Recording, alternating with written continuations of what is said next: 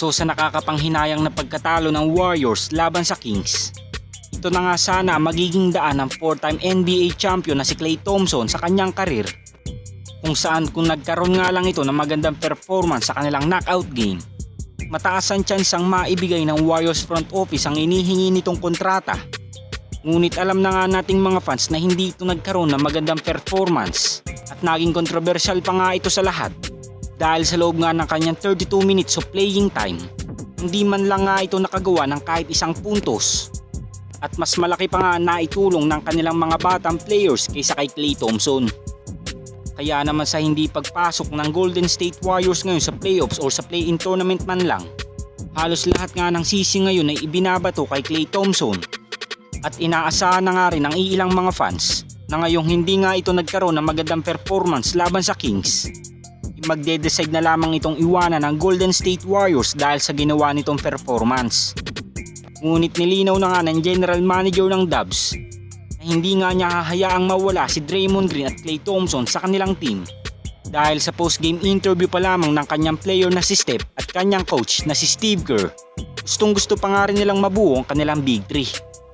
At kahit maganda ang balitang gusto pa rin panatiliin si Klay Thompson next season sa Warriors, dagdag pa rin sa kanyang problema ang pagpasok nito sa free agency dahil kung nasa ganitong sitwasyon ka nga bilang isang player, mag-iisip-isip ka na nga tungkol sa iyong retirement at sa paglipat ng ibang teams.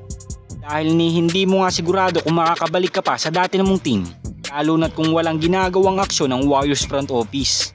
Ganun pa man dahil sa bigat ng problemang dinadala ngayon ng 4-time NBA champion na si Klay Thompson, hindi na nga nakapagpigil pa ang kanyang teammate na si Draymond Green sa team ng Warriors at sa mga fans. Dahil ayon nga sa former Defensive Player of the Year Uncertain place nga daw ang pagpasok sa free agency bilang isang player. Dahil nang pumasok nga din daw siya sa free agency last year, di nga daw niya alam kung saan pa siya lulugar. Dahil noon nga ay medyo natagalan pa ang pagbibigay sa kanya ng kontrata ng Warriors front office dahil kay Jordan Poole.